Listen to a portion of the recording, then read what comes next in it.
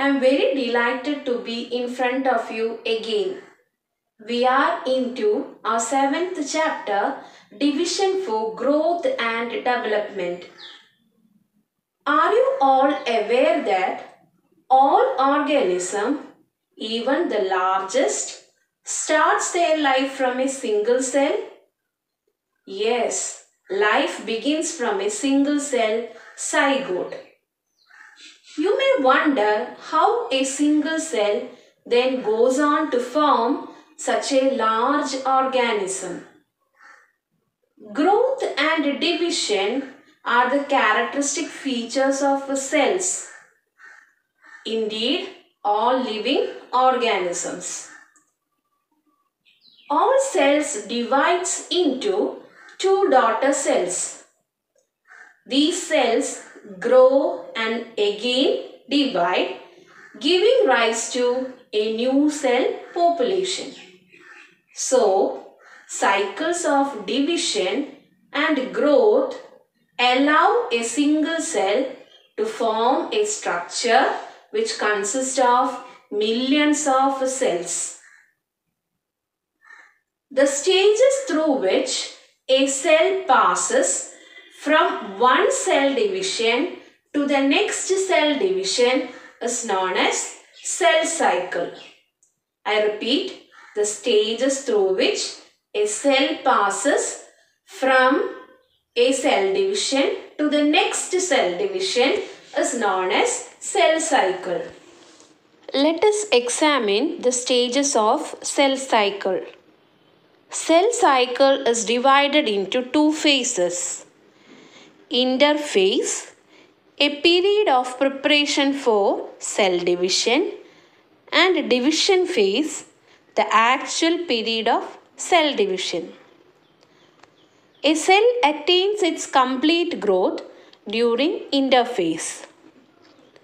During this phase, some changes takes place inside the cell number of cell organelle increases, the quantity of cytoplasm increases, cell size increases and the very important change is the genetic material duplicates. In division phase there are two phases. Division of nucleus or it is also called as karyokinesis division of cytoplasm, cytokinesis. Nuclear division is followed by cytoplasmic division. The fully grown cell after interphase undergo division phase and becomes daughter cells. Interphase and division phase gets repeated in a cyclic manner. They together constitute the cell cycle. Peculiarities in cell division ensures the uniqueness in each organism. Cell division are of two types. They are mitosis and meiosis. Mitosis is a cell division which helps in growth of the body. During mitosis, mother cell divides into two daughter cell with no change in their chromosome number. So, it is called equational division. I repeat, the mother cell divides into two daughter cell and each daughter cell will be receiving the same number of chromosome what their parents have. So there is no change in the chromosome number in the daughter cell. So mitosis is also known as equational division. As we discussed earlier, the first stage of cell division is karyokinesis that is division of nucleus. Division of nucleus in mitosis is completed through four phases. Let us examine what are the changes that occurs during the four phases. The first phase is known as prophase. The changes that takes place during prophase are condensation of chromatin reticulum to form chromosomes. Chromosomes are seen to be composed of two sister chromatids attached together at the centromere. I repeat, chromosomes are seen to be composed of two sister chromatids attached together at centromere. Nucleolus and nuclear membrane disappears. Centrioles move towards poles and spindle fibers are formed from the centrioles. In plant cells, centrosomes are absent.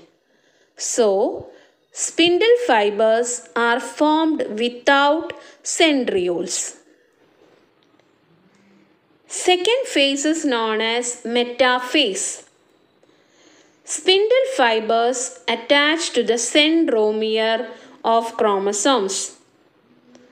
Chromosomes are aligned linearly at the center of the cell. During metaphase, chromosomes are aligned linearly at the center of the cell. Third phase is known as anaphase. Each chromosome splits simultaneously at the region of centromere to form two daughter chromatids. Chromatids begins to move towards opposite poles. So the major change that takes place during anaphases, chromatids begins to move towards opposite poles.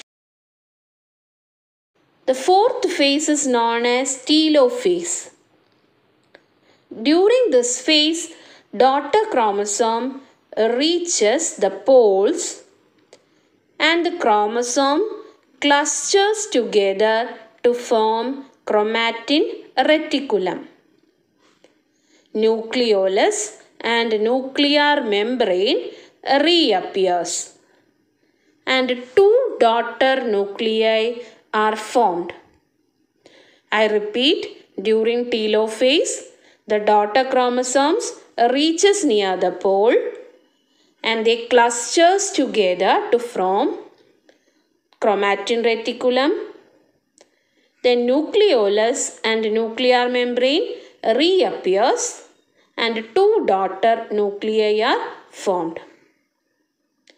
Subsequently, the division of cytoplasm takes place.